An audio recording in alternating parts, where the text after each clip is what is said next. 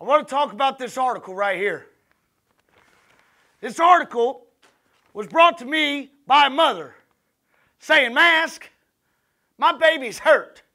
His heart's breaking because they say eight ain't enough. Well, let me tell you, for a team that's picked sixth in the conference beforehand, eight's enough for me. Feels pretty good to be first in the conference. Everybody wants to try to kick a team when we're up, say that we're overrated, say that it ain't going to happen, say that we're just waiting to fall off the side. Well, I'll tell you what, those that say that obviously don't have a child someday. And when you do, you'll have to deal with them talking to you about them being hurt, saying, Mommy, Daddy, we ain't good enough. It's obvious you don't have a child. All our boys do is go to class, respect the media, respect the public, and you guys just want to go after them. Say we're not good enough. Say they're doing something wrong. Find somebody on my team that's doing something wrong. Good luck.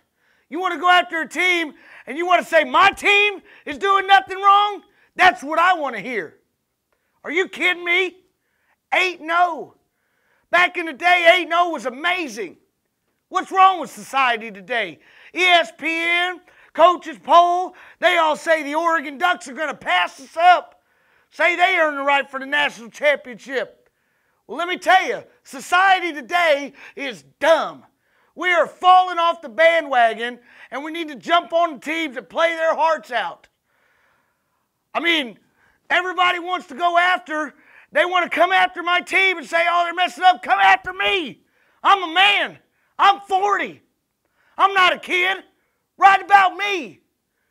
I don't give a damn what you say. You think you're writing about my boys and they mess up every now and then. Well, guess what? Everybody messes up. Your mom messed up when she made you, but I'm not writing a story about it. Come on. Everybody says Arthur Brown came to K State because he couldn't, couldn't cut it in Miami. That ain't true. Everybody says our defense is overrated. That ain't true. Come on. Get your facts straight. Everybody wears these stupid hats, thinks that the visor's a good look. It's dumb. That ain't true. Everybody, hold on. Sorry about that. I mean, come on. Everybody says Collin Klein is going to fall off and that he doesn't deserve a Heisman. That's not true. You know it is true. We're 8 0. We're the best team in the Big 12. Everybody keeps bumping the gums how they're going to beat us. Bring it. That's all I got to say.